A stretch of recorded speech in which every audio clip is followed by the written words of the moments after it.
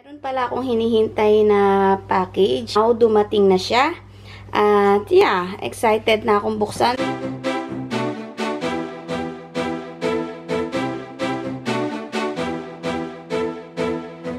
Guys, ayan na yung mga napak namin. Yan. So, okay na siya lahat. Gagawin ko na lang, is tatakpan ko na lang siya ng ganyan para yung mga bata baka mapakilaman bukas. At least, medyo secured na siya. Yan yung mga um, pang Christmas uh, gifts namin. Yun lang.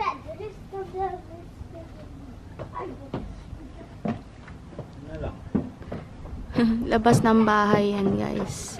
Ayun, naglalagay si Papa. Parang Christmas lights sa taas.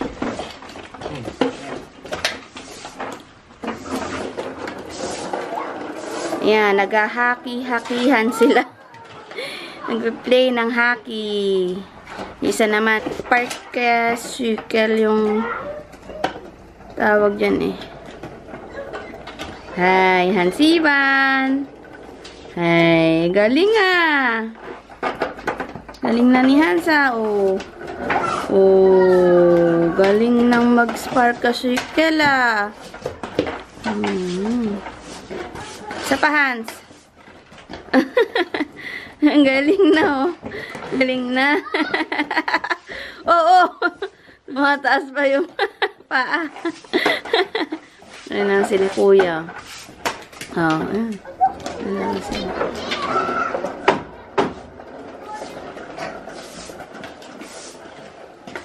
Kuya Hendrik. Oh, ayun, oo. Basus.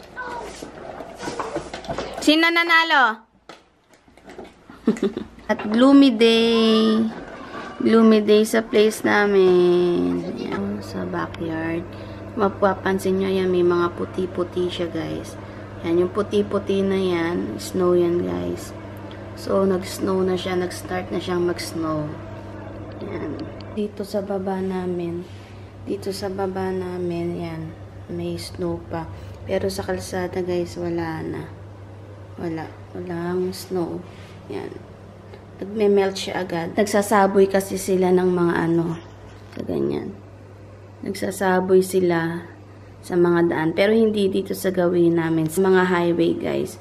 Doon sila nagsasaboy ng mga buhangin, mga asin sa daan para hindi siya maging madulas sa mga naglalakad, mga tao at saka sa mga um, sa mga sasakyan guys. Ready lang ako ng coffee ko guys. And then, kain ako ng sopas. And, nagpe-prepare ako ng tinapay.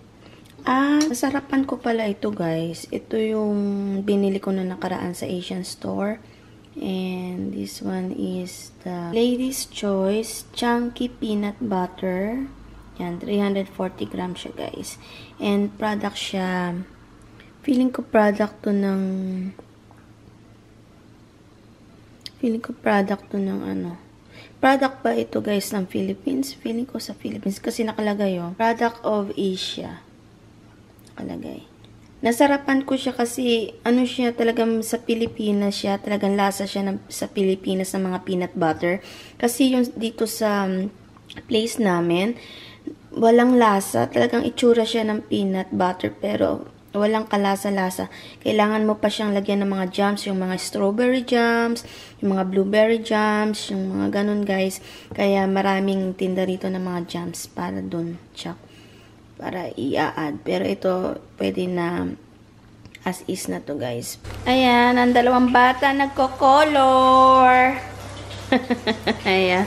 At siya naman, ginagawa niya ang kanya activity. At ako naman, niluluto ko rito guys yung halo.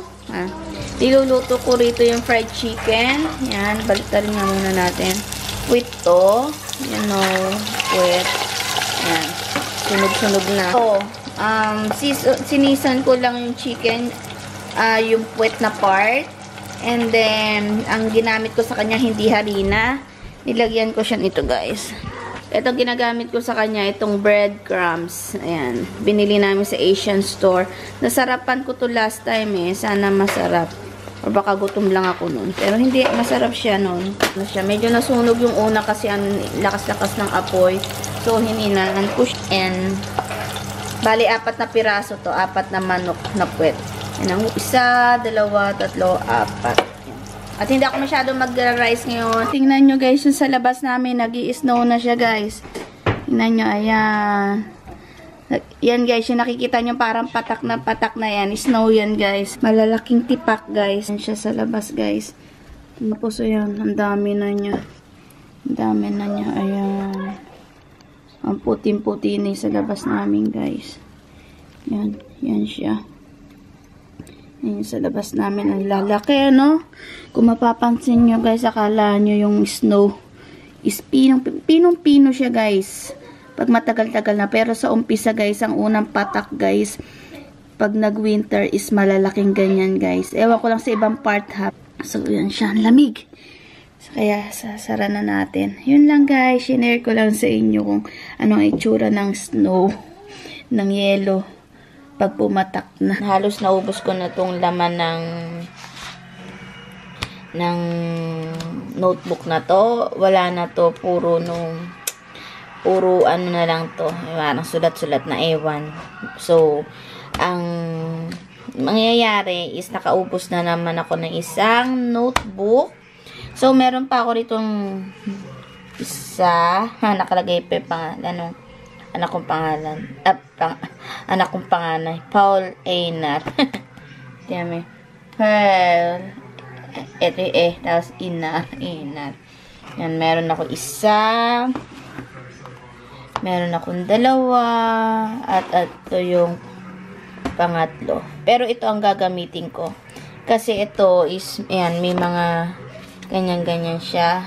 Sa school yata ito ng mga anak ko. Ewan ko lang kung ano. Pero, ito ang gagamitin ko kasi yung loob nito is walang mga lines-lines. So, yeah. Mas gusto ko yung walang lines-lines, walang sinusundan na lines. So, at saka ang maganda dito is makapal siya, guys. Yan, makapal siya. Kita mo naman ang kapal niya dito. Uh, wala. Hindi ko napapakita yung loob kasi may mga ibang nakasulat din ako guys dito. Mahilig talaga ako magsulat, mag-compute-compute. So, ito na ang bago kong gagamitin. Ayan, excited ako. Ayan. Yun lang. Shinare ko lang. At, masaya na ako pag nagkakaroon ako ng mga notebook-notebook guys. Ayan. At nakakaubos. Dito lang yata ako sa Norway nakakaubos ng mga notebook, mga ball pens, yung mga ganyan guys. Dahil mahilig ako magsulat. Araw-araw, sulat, sulat, sulat. At nanonood ako guys dito. Uh, Lucifer. Ito, nasa season 1 ako. Napanood ko na yung season 3. Ngayon ito, pinapanood ko season 1 to. Minamarathon ko guys. Yun lang.